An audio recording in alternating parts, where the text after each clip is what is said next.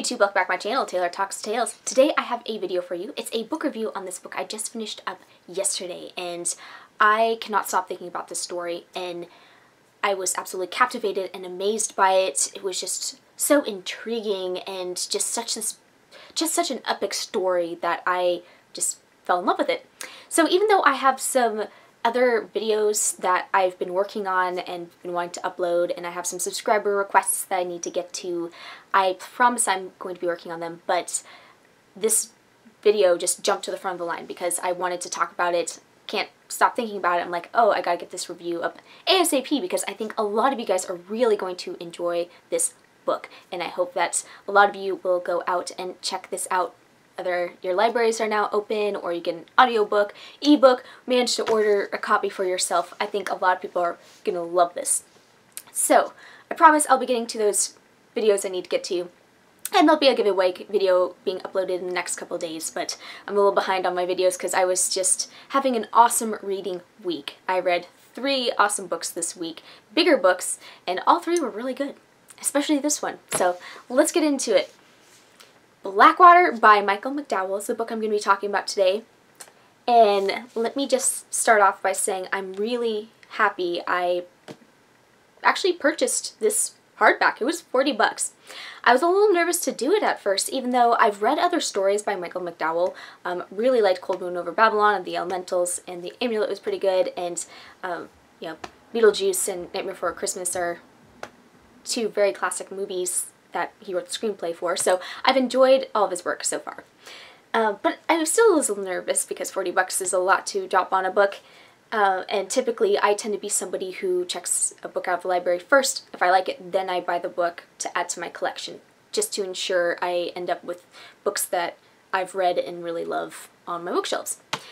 But I think it's really worth it to have the book, and I think having it in physical format is helpful too, because there is a family tree in this, and there's also a town map, and there's some other little goodies at the beginning of the story. There's also a you know pretty nice intro to the book as well. And I think being able to flip to the family tree and flip to the map as needed was pretty handy. Um, and this edition is also just very beautiful. It has all six of the novellas, because this was part of a serial novel that came out in 1983. Having all six of them bound up together made it way easier to read the story. I think it just it was great to binge all of them. Um, I mean, it would have been interesting to read it as a serial novel too, but I just, I binged this whole thing. I just could not put it down. This is an 800 page book and I read it in like two days. um, I just was like, I, I couldn't stop. I, it was a page turner through and through. It just kept me going. So, in terms of the story, I don't want to go too much into the actual story because I think it's just very powerful to experience it for yourself. The main sort of setup for it is it takes place in this town, this very small Alabama town um, in 1919. It's a town called Perdido. And Perdido is located next to two rivers that kind of end up coming together and join together. You have the Perdido, which is where the town gets its name, and you have the Blackwater, which is sort of like a swampy-ish river. So you've got the Perdido, which is red, and you have the Blackwater, which is black, and they kind of come together at this one point called the junction, which a lot of people drown in the junction because it's just rapid moving whirlpool water. And the town has made its fortunes basically on the lumber industry. Now there are three main rich families in the town and then everybody else they're either like a mix of farmers or poorer people, maybe a little bit of middle class, but it's sort of just your average standard 1919 deep south Alabama town. And from there, the story starts, there's this giant flood that's happened. The river rose and just washed everything away, and a lot of the families escaped to higher ground. They take, some of them take shelter at a church, and others just kind of go further out. The two, there are two characters who start the story off. You have Oscar Caskey and Bray Sugarwhite. They are the two dudes on the back right here. And they are in a boat and they're kind of just checking out the town. Most of it's underwater. There are some taller buildings that um, like are standing a little bit above the waterline, but not much. And they end up going past this hotel, and they spot a young woman in one of the rooms. that woman is Elinor Dammert. That's right. That's her. And she's this beautiful woman. She has gorgeous reddish brown hair and she is kind of dressed up pretty nicely. And they're a little confused as to why she's there because everybody was gone out of the town. So they end up rescuing her. As they're getting ready to leave, Bray just has a weird feeling about things and he just checks the water line and it just shows that there was no possible way for her to have been living in that room for four days. She was there four days, no food, no water, nothing, according to her story. And where the water line was, there's no way for her to survive. So the story starts off with that, and it just it ends up becoming this really epic family saga. It's there, there are a lot of characters in the story, but I never feel like it's ever overwhelming. Um, part of it was it's really handy to have the family tree, um, but even then the characters are introduced and then they're there and you just get to know who everybody is. So I, I didn't think it was confusing um, to keep track of who was who. And this story really follows Elinor. And what was really cool to me is that the story was different than I thought it was going to be because when I first started reading it um, and I'd heard about it, I thought, well, this is probably going to be like a good versus evil. Like there are going to be some people who get onto Elinor and she's like super evil, monster lady, etc., etc. But actually, it's a lot more complicated than that, and I really liked Elinor as a character because really this is her story. It's the story of Elinor and the Caskey family because she marries into the Caskey family, Oscar, who had rescued her. She ends up marrying him, and it's all about everything like family drama and relationships circling around that marriage and you know following the generations because this book spans 50 years. Um, so it's a pretty big epic tale, I would say, and it's really a Southern Gothic.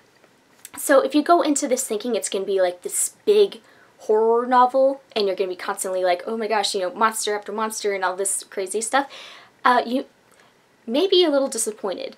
I think for the most part, most people will really enjoy the story if you like gothic novels, southern gothic, just a well-written story. If you like supernatural stuff, maybe even a little bit of magical realism, if you like historical fiction, um, there are a lot of people I would recommend this story to. Just know that it's not going to be this like big in your face, constantly horrific scene after scene after scene. Um, really, the family and the town take precedence over any kind of supernatural element. Um, but the supernatural elements are there. There definitely are some creepy scenes.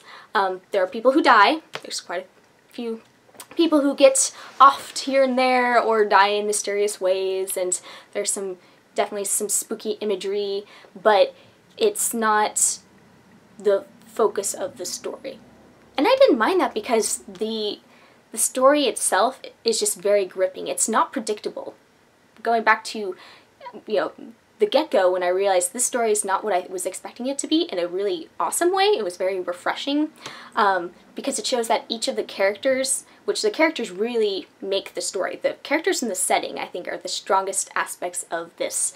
Um, you really feel like this is a real family. This is a story about a real family in a real place dealing with these things. And yeah, I definitely would say um, I'm trying to think of who my favorite characters would be besides Elinor. I thought that Elinor was a very very unique and very interesting main sort of main character, even in um, parts of the story where she's not there per se. Um, like there are certain scenes where she's just not around and they're focusing on different family members. Um, her presence is still there, and so it really, you know, I feel like everything ties up into Elinor and her arrival in this town. All everything that happens really stems from from that.